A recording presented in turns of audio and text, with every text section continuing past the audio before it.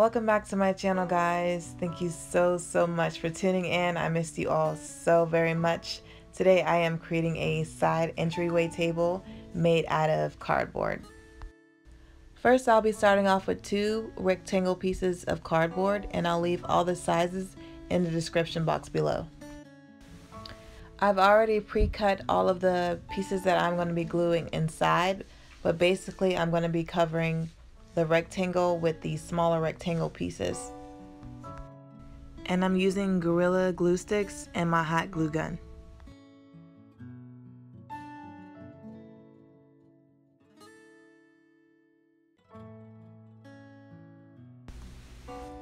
And while I have the chance to say, I know I've been MIA.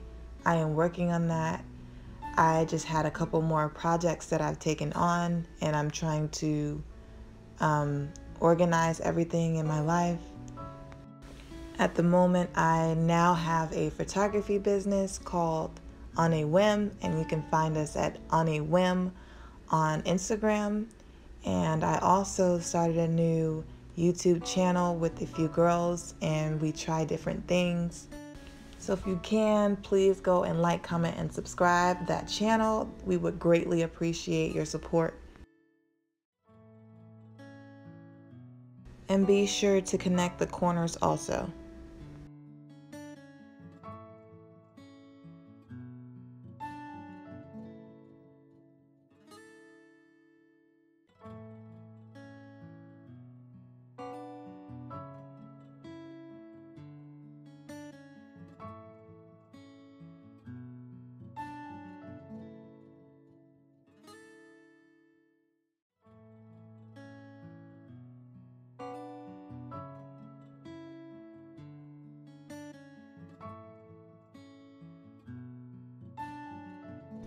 And I'm using these two pieces of wood to put at the top and the bottom of the entryway table for more support. And after I've done that, I'm just gluing on my last two pieces of cardboard.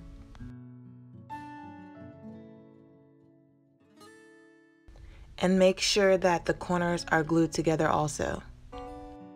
So to fill the inside in, I'm using this spray that turns into foam and fluffs up when it dries. I got this from the Home Depot Gaps and Caps. Um, this was only around like $3 and I used two cans.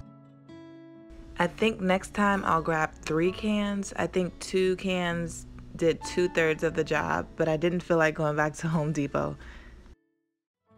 So to fill in the rest, I just used pieces of cardboard. And then I grabbed the last piece of cardboard and I covered the back of the table. And y'all, these glue sticks are bomb.com. One of my subscribers told me to grab a pack of them, and I did, as you can see. And it's been amazing since then. Like, I have had nothing peel back up. Everything is solid. It is, is amazing. Go and get you some Gorilla glue sticks. So after I glue all the sides down and together, we can start on the decorating. I took the box outside and spray painted it silver and I'm going to now take a coat of Mod Podge and put that on one side of the entryway table and then cover it with crushed mirror rocks. As you all know, I have my original technique with the mirror crush rocks from the Dollar Tree. I'm going to leave that video in the description box below, but I usually use that, but since I did a project for a friend, I had some left over and that's why I'm using it in this project. But if you do not want to spend all that money on crush mirror, like I said, I'll be leaving that other video to show you how I made my crush mirror in the description box below. And I know some of you guys are going to be like, why didn't you put a paper underneath? Like the glass is going to fall, you're going to waste glass, blah, blah, blah. Listen, there's a lot of things that I should be doing, like paying my taxes on time, a lot of things. Like I, I'm hard-headed. I'm going to learn the hard way. It's going to be okay. So while the crushed glass is drying, I am going to take this piece of foam board um, that is the same size as the side of the entryway table and I'm just going to cover it with mirror reflecting paper. Now you should probably use a blade, but I am using my drill bit to slice. I decided to make some designs on the side of the entryway table to spruce it up and to get rid of those little dents that I see.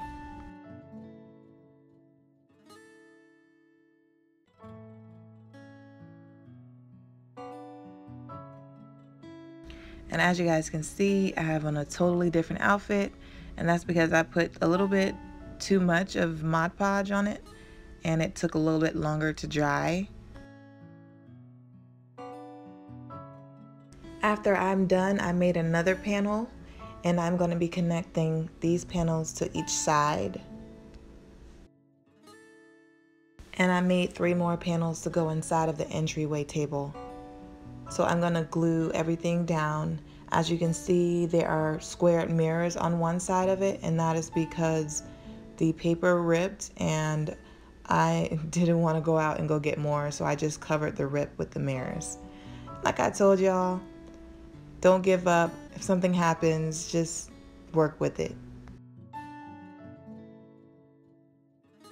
One of the last things I did was take the Mod Podge and the glass mirrors and I went around the edges to fill in the gaps.